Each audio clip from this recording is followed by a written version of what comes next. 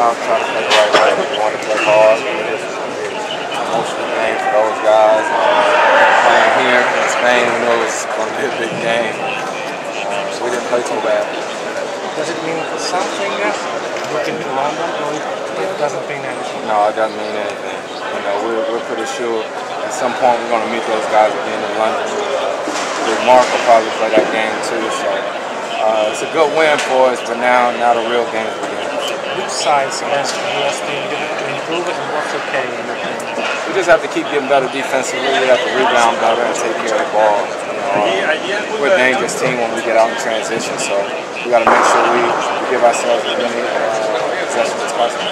Aren't you worried uh, too much about the lack of presence uh, the? No, we did fine tonight. you know, it's, it's by committee. It's by committee, and uh, we're fortunate enough to have uh, forwards like LeBron and Melo who play bigger than they really are. So, Regarding your role, your appointment of the team, what about sharing the role between KD and LeBron and Shelby? It's fun. It's fun. It's a fun guard team to play that much talent.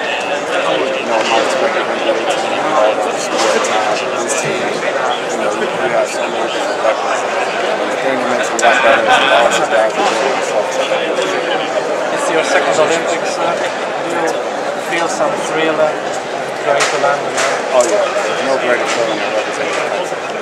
And doing it on this stage and being around this great group of people, uh, something that you cherish for life. Thank you very much.